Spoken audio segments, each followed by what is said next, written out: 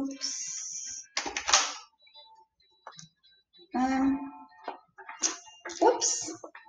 Just broke a screen, but that's okay. Uh, in technology class, we will learn how to fix Chromebook screens.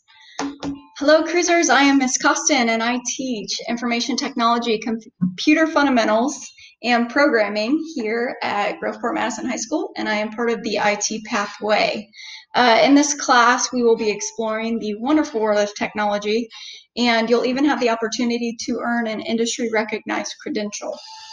I'm going to share some contact information and uh, just some other general class information with you.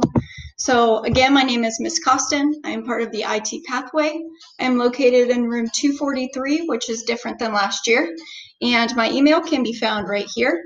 Please feel free to send me an email with any questions or concerns at any time.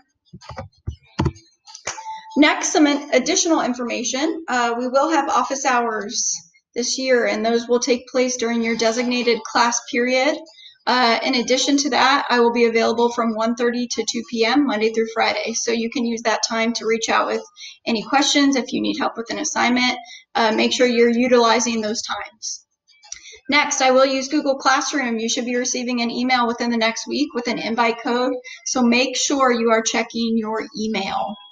Uh, that's really all I have for now. I cannot wait to meet you guys and get to know you, even if it is through a screen. I know this year is uh, starting out quite differently than what we're used to, but I'm still very, very excited, and I hope you guys are looking forward to it too. I'll see you soon.